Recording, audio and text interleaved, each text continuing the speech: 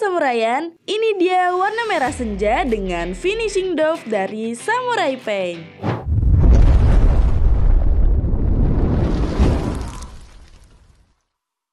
Pertama-tama, amplas terlebih dahulu media yang akan digunakan ya, menggunakan amplas grade 400. Lalu, untuk cat dasarnya, kita gunakan epoxy white 2K04W.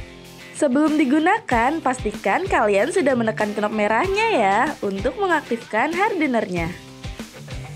Semprotkan sebanyak 3-4 lapis merata ya guys, dan berikan jeda 5 menit pada setiap lapisnya.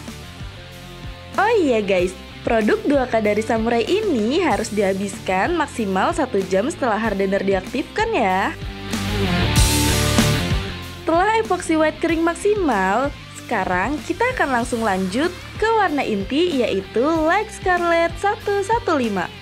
Semprotkan sebanyak 2-3 lapis merata dan beri jeda 2-3 menit pada setiap lapisannya.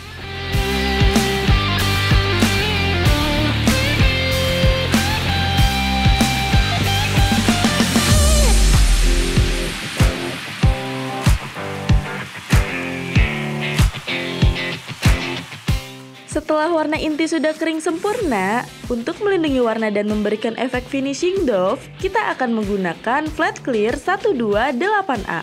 Semprotkan secara tipis merata sebanyak 2-3 lapis, beri jeda 2-3 menit pada setiap lapisannya.